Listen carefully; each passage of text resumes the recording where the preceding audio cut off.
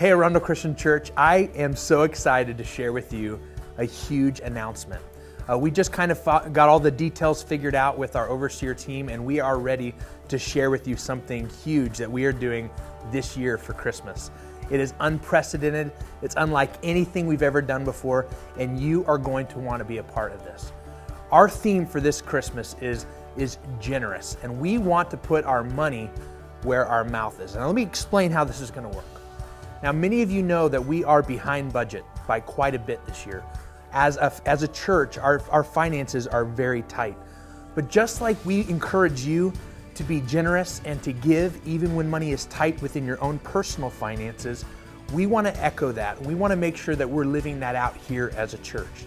So, what we're doing, hear this, we are taking the equivalent of one week's income into the church. That's $26,700 and we are earmarking it in its entirety towards generous initiatives within our community.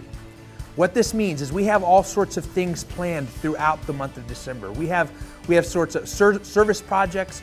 We're going to be going out into our community and randomly surprising people with different acts of generosity.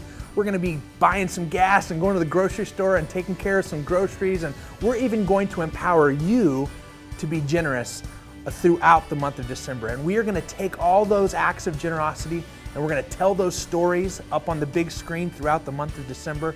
It is going to be awesome.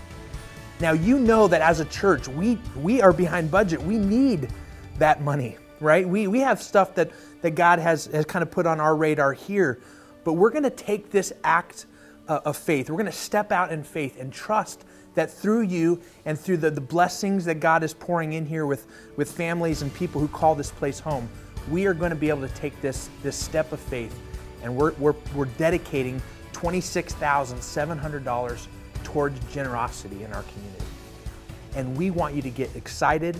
We want you to get involved. It is going to be incredible to see how those little random acts of kindness and even some really big things we have planned that I can't tell you about yet, it's going to be awesome.